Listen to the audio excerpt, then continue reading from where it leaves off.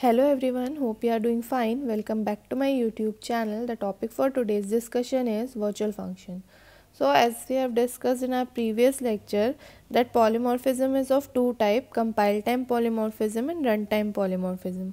Compile time polymorphism can be achieved by function overloading and operator overloading हम इन दोनों के बारे में डिटेल में अपने प्रीवियस लेक्चर्स में देख चुके हैं with C plus plus example आज हम वर्चुअल वर्चुअल फ़ंक्शन के बारे में डिस्कस करेंगे. बेसिकली वर्चुअल फ़ंक्शन हमारा रन टाइम पॉलीमॉर्फिज्म अचीव करने के लिए यूज़ होता है. तो पहले हम ये देखते हैं कि हमें वर्चुअल फ़ंक्शंस की ज़रूरत क्यों पड़ी थी?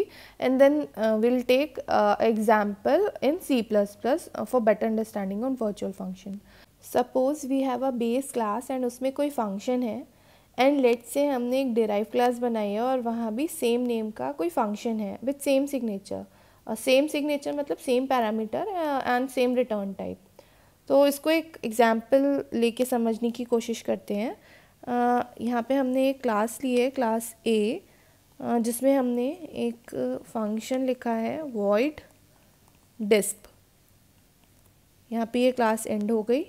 अब हम एक डिराइव क्लास बना रहे हैं क्लास बी जिसमें हम ए को इनहेरिट करने वाले हैं बेसिकली तो यहाँ पे हमने पब्लिक ए और यहाँ पे हमने सेम नेम का एक फ़ंक्शन लिख दिया है दैट इज़ वॉइड डिस्प और यहाँ पे हमारी क्लास क्लोज हो गई है। So, if we make a pointer of base class and we access base class तो इसके मेंबर एक्सेस होते हैं। लेकिन अगर हम डिराइव क्लास को पॉइंट करते हैं तो भी वही मेंबर एक्सेस होते हैं जो ए से बी में इनहेरिट हुए हों। तो अगर सेम नाम का फ़ंक्शन है तो बेस का पॉइंटर अपने मेंबर एक्सेस कर पाता है। लेकिन अगर सेम नाम का फ़ंक्शन इनहेरिट हुआ है तो भी डेराइव क्लास के मेंबर एक्सेस नहीं कर पाता, क्योंकि पॉइंटर बेस क्लास का है। जिससे होगा क्या कि बेस क्लास का पॉइंटर बना के चाहे हम बेस क्लास को या डिराइव क्लास को पॉइंट करते हैं तो जो फ़ंक्शन एक्सेस होगा वो बेस क्लास का ही एक्सेस होगा। तो इस प्रॉब्लम को सॉल्व करने के लिए हमारे पास वर्चुअल फ़ंक्शन होते हैं। तो इसके लिए हम वर्चुअल कीवर्ड का यूज़ करते हैं। अभी क्या हो रहा है? हर बार बेस का फ़ंक्शन ही आउटपुट देगा। तो इस प्रॉब्लम को सॉल्व करने के लिए हमने क्या यूज़ करना है? हमें वर्चुअल कीवर्ड का यूज़ करना है और इसमें हमें जो बेस क्लास है उसके फ़ंक्शन को वर्चुअल फ़ंक्शन बना देना है। तो अब अगर हम बेस का पॉइंटर बनाते हैं और बेस क्लास को पॉइंट करते हैं तो बेस का फ़ंक्शन एक्सेस होगा और डेराइव को पॉइंट करते हैं तो डेराइव क्लास का जो भी फ़ंक्शन है, वो रन होगा। तो इसमें क्या होगा? Now if we make pointer to base class तो इट विल प्रिंट जो भी चीज़ें हम यहाँ पे स्टेटमेंट्स लिखेंगे and if we make pointer of derive class तो क्या होगा? यहाँ पर जो भी चीज़ें लिखी होंगी, वो प्रिंट होंगी। Now let's take an example in C++ uh, for better understanding in virtual functions. तो यहाँ पे हम क्या कर रहे हैं? हम एक क्लास uh, बना रहे हैं। हम इसको बेस नाम दे देते हैं इस क्लास का। सो so, ये बेसिकली हमारी होगी क्या? ये हमारी बेस क्लास होगी। यहाँ पर हम एक फ़ंक्शन uh, बना रहे हैं वर्चुअल कीवर्ड का यूज़ करके। मतलब हम यहाँ पे वर्चुअल फ़ंक्शन बना रहे हैं वॉइड डिस्प्ले बेसिकली ये क्या है? ये डिस्प्ले फ़ंक्शन है ऑफ़ बेस क्लास यहाँ पर मैं एक स्टेटमेंट लिख देते हैं। तो हमने यहाँ पे C out this is base class और हमने यहाँ पे इसको क्लोज़ किया। ये क्लोज़ हुआ। और ये हमारी बेस क्लास हमने बना ली। अब हम एक डेराइव क्लास बना रहे हैं, जो बेसिकली बेस क्लास को इनहेरिट करेगी। तो हमने यहाँ पे क्या किया? हमने एक क्लास बनाया।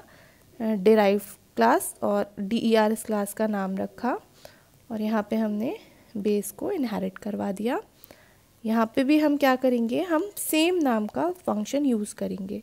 तो हमारा फ़ंक्शन नेम था, जो बेस क्लास में है, उसका नाम था डिस्प्ले तो यहाँ पे भी हमने क्या किया, हमने सेम नाम का एक फ़ंक्शन यूज़ कर लिया डिस्प्ले और यहाँ पे हम एक स्टेटमेंट प्रिंट करा देते हैं। This is derived class so basically हमने क्या किया है? हमने दो क्लासेस लिए हैं, एक बेस क्लास है, एक डिराइव क्लास है। दोनों में सेम नाम का फ़ंक्शन हमने लिया है। लेकिन हमें क्या करना था? हमें बेस क्लास का फ़ंक्शन एक्सेस करवाना था एंड देन हमें डिराइव क्लास का भी फ़ंक्शन एक्सेस करवाना था। तो जैसे अभी हमने पहले समझा था, हमें क्या करना होगा? हमें वर्चुअल कीवर्ड का यूज़ करके जो बेस क्लास में फ़ंक्शन है, उसको वर्चुअल फ़ंक्शन बनाना है। तो हमने यहाँ पे वर्चुअल कीवर्ड यूज़ कर लिया। अब देखते हैं इसको एक्सेस कैसे करेंगे। तो वॉइड मेन और यहाँ पे हम सबसे पहले क्या बनाएँगे? हम यहाँ पे एक पॉइंटर डिक्लेयर करेंगे बेस क्लास का राइट तो बेस क्लास का हमने क्या किया है? पॉइंटर डिक्लेयर किया है। तो बेसिकली हमने यहाँ पे क्या किया है?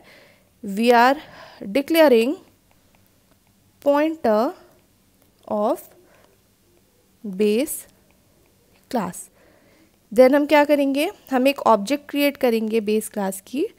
तो हमने एक ऑब्जेक्ट क्रिएट की बेस क्लास की तो we are creating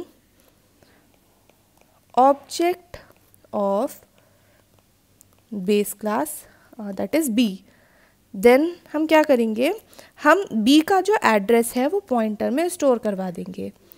तो ये आपका बी का जो भी एड्रेस था, आपने क्या किया? उसको पॉइंटर में स्टोर करवाया। तो store address of B in PTR अब हम क्या करेंगे? हमें जो भी हमारा बेस क्लास में फ़ंक्शन है, हमें उसको क्या करना है? कॉल करना है। तो उसके लिए हम पी टी आर डिस्प्ले ऐसा लिखेंगे। और बेसिकली इससे हो क्या रहा है? हम यहाँ कर क्या रहे हैं? Call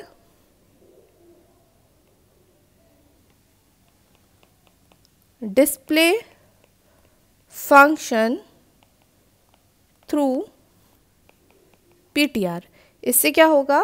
जो आपका बेस क्लास का फ़ंक्शन है दैट इज़ ये वाला, जिसमें लिखा है दिस इज़ बेस क्लास ये आपका कॉल होगा और यहाँ पे जो भी चीज़ें होंगी, वो आपकी प्रिंट हो जाएँगी. That is this is base class similarly अगर अब हमें डेराइव क्लास का फ़ंक्शन रन करवाना है, जिसमें आपका दिस इज़ डेराइव क्लास लिखा है तो इसको आप कैसे करोगे? सेम यहाँ पे आप क्या करोगे?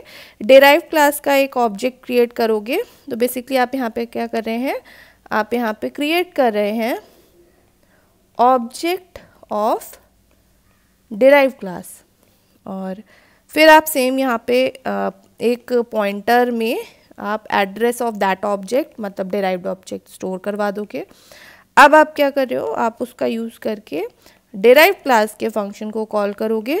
अब क्या होगा, इससे क्या होगा कि आपका ये फ़ंक्शन कॉल होगा और यहाँ पर दिस इज़ डिराइव क्लास लिखा है, ये आपका प्रिंट हो जाएगा। So a virtual function is a member function which is declared within base class and redefined by derive class. Uh, when you uh, when you refer a derived class object using a base pointer, you can call a virtual function for that object and execute the derived class version of the function. Functions are declared within um, within the base class by using virtual keyword. ठीक है तो इस तरीके से ये कुछ points हैं जो आपके वर्चुअल फ़ंक्शन में आपको एग्ज़ाम में लिखने होंगे so they are some rules of virtual functions जो वर्चुअल फ़ंक्शन होता है वो फ्रेंड फ़ंक्शन होता है अदर क्लास का वर्चुअल फ़ंक्शन जो होता है वो हमेशा हमें पॉइंटर का यूज़ करके ही एक्सेस करना होता है to achieve run time polymorphism the prototype of virtual function should be same in base as well as derive class the uh, they are always defined in base class and redefined in derived class पर ये mandatory नहीं होता कि हम इनको derive class में over या redefine करें ही करें। अगर नहीं कर रहे हैं तो in that case base class version of function is used तो these are some rules of virtual functions we have seen what is virtual function इसकी ज़रूरत क्यों पड़ी थी? एंड हमने एक सी प्लस प्लस में एग्ज़ाम्पल देखा then we have discuss few points related to virtual function और हमने कुछ रूल्स देखे हैं तो that was it for virtual functions